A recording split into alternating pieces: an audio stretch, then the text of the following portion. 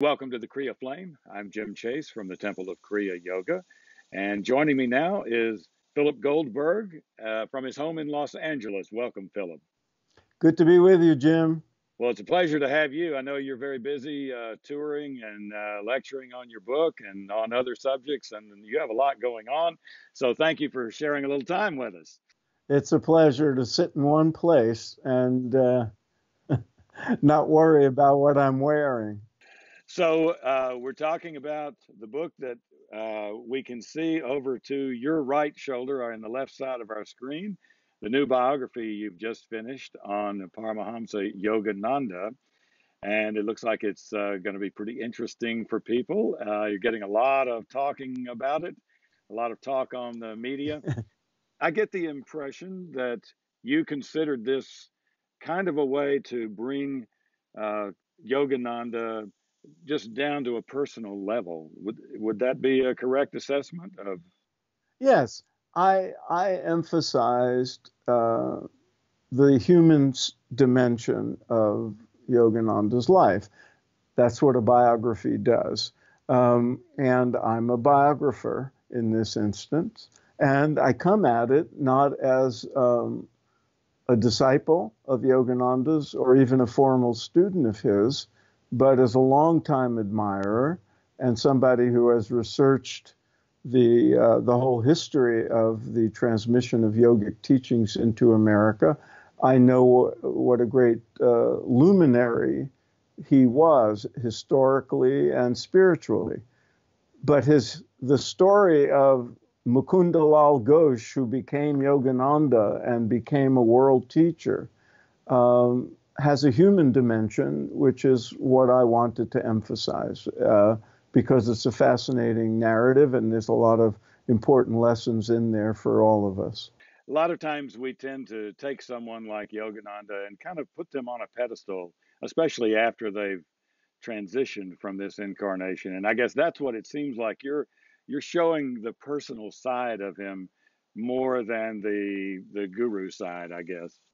Well, the guru side is part of the human story. That was his role in, on the earth plane. That was his job, and uh, how he did it and what he uh, endured to make it all happen. Uh, the ups and downs of a human life, a, a, remarkable and extraordinary human life. I mean, we write biographies uh, and read them of ex- exceptional people. So if you read a biography of Lincoln or Einstein, you're reading about somebody who's really remarkable, but they we're fascinated with the human story, how they did what they what they like in their private moments, what were the obstacles they had to overcome. And I wanted to emphasize that story because it had not really been done. Uh, whereas anybody who wants to know about Yogananda uh, as a teacher and uh, to know what he uh, taught and the uh, writings that he produced, all that is available elsewhere. But the human story is what I wanted to emphasize. Is there a favorite story of it that stands out? I've heard I've heard probably three or four stories about Yogananda that I haven't seen in print that somebody has told me along the way. But I wondered what's what's your what what's uh, the one that you bring home and you think about more often.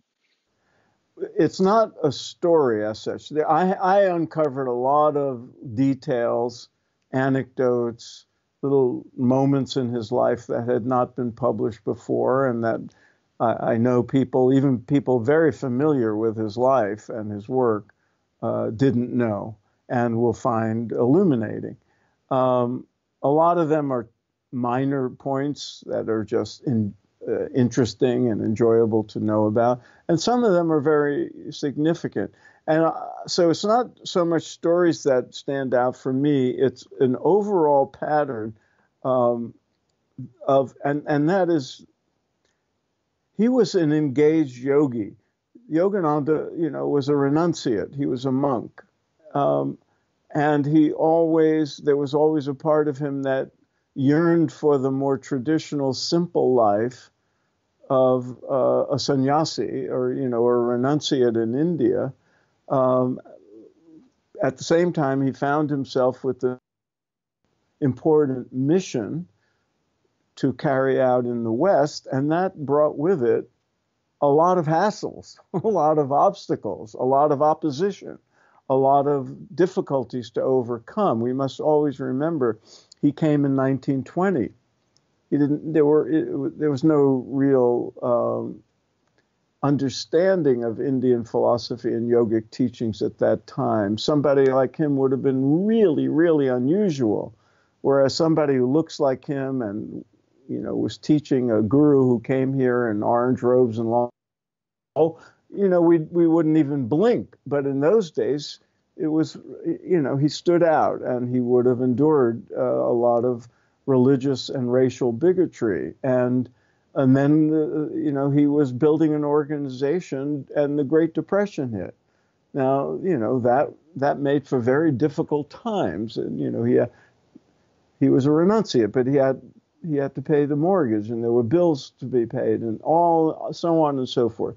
There were lawsuits that most people don't know about uh, there's certainly not an autobiography of a yogi so the the challenges that he had to face and the way he dealt with them is was an important feature of what I discovered and what I wanted to therefore emphasize in the book.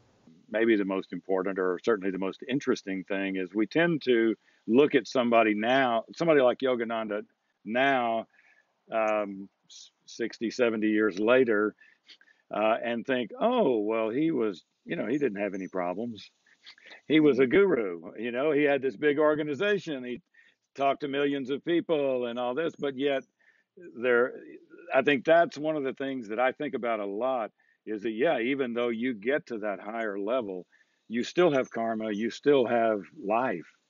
Exactly. And that's the interesting things that I wanted to bring out in this book because I've been around spiritual circles for half a century now, not to give away my age, but um, I, and you see that tendency.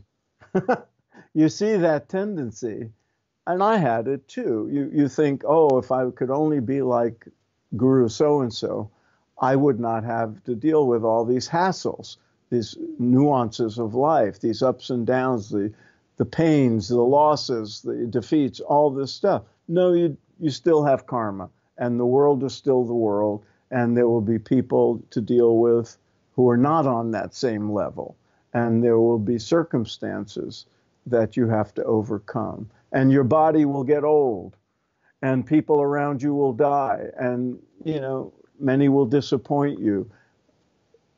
The the the teachings of yoga do not an easy life. What they promise is an inner life that will enable you to deal with those with grace and dignity and equanimity. And, and so you see that in Yogananda's life. You also see a person evolving. He was only 27 years old when he came to America. He had a lot to learn. He grew. He grew as a human being. He grew as a spiritual being. You see, and I recount in the book many of his own descriptions of his inner experiences that sort of are uh, stepping stones and markers for the classic descriptions of higher consciousness or enlightenment experiences. So all of that, plus I, was pleased to see that he was uh, aware of world conditions and eco- uh, circumstances in the world and addressed them as a spiritual leader. He didn't he didn't you know just chalk it all up as Maya and you know illusion and say oh don't be bothered. No, no. When he spoke out a, about bigotry. He spoke out in behalf of Indian independence movement during you know the years. You know, India gained its independence only five years before he died. He spoke out uh, about um, all kinds of uh, injustices, and I, I found that inspiring as well. So you're going to be at the temple now. You're going to you're going to actually do two things. We're going to talk about the book and have a book signing, and then you're you're going to do something else. Tell us a little bit about that also. Yeah, so we'll have I'll talk about uh, Yogananda and the book, and you know we'll sign some books, and then take a break, and there'll be a segue into an afternoon workshop. I forget the times. Uh, one of the things I like to work with people on, based on all my experience and research, is integrating the methods and practices and teachings of yoga, and yoga in the broadest sense of, you know, this great system of uh, Indian spiritual development. Uh, integrating the core teachings into our lives in a meaningful and practical way, uh, and talking about um, living on the spiritual path and, and, and some of the uh, sort of interesting and challenges that arise when, when you try to live as a spiritual being in the world, when you try to develop your inner spiritual life, and at the same time have a meaningful and responsible outer life uh, with all that entails. So the workshop will be around all that. Okay, well, Philip Goldberg coming to the Temple of Kriya Yoga June 23rd, and we'll have a book signing and a talk and living La Vida Yoga. and We hope you'll come. And uh, thank you for uh, Philip for joining us. And um, we will be talking to you soon. I'm looking forward to getting my autographed copy of the book. So we'll be doing that. Uh, it's a deal. I look forward to signing it, and I'll look forward to meeting you and the others in person.